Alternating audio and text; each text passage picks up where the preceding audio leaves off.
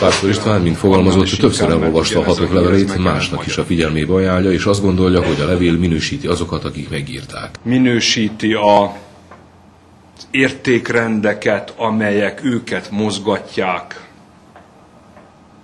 És azt gondolom, hogy jó példája arra, vagy annak, hogy hogy nem szabad ennek a közösségnek a nevében politizálni.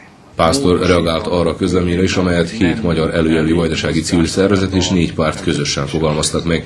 Ezek szerint a rehabilitációs törvényjavaslat jelenlegi megfogalmazásában nem fogadható el. Magyar Honvéd, itteni besorolt Magyar Honvéd, a Magyar Honvédség seregében, szer, a mostani Szerbia területén két oknál fogva nem esetett el.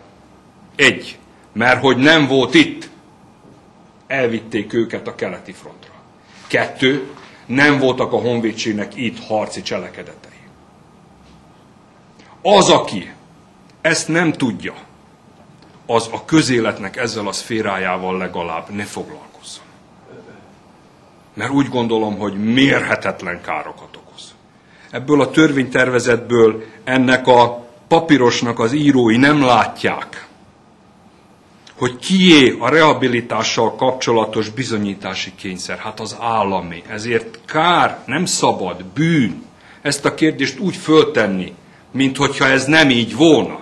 Sajtótájékoztatóján Pásztor kifejezte reményét, hogy a szerb parlamentben meg lesz a szükséges többség a rehabilitációs törvény elfogadásához. Megvan a szándék, az akarat, hogy ez a rehabilitációs törvény legalábbis az a része, ami minket érint, amivel itten például többek között ez a levél ilyen esetlen módon foglalkozik számunkra fölvállalható módon elfogadásra kerül. Csak abban az esetben szavazunk rá, és abban az esetben azt fogjuk tanácsolni a magyar kormánynak, vagy azt fogjuk kérni, hogy támogassa Szerbia csatlakozását, ha az ezzel kapcsolatos szavazás december 9-én aktuális lesz.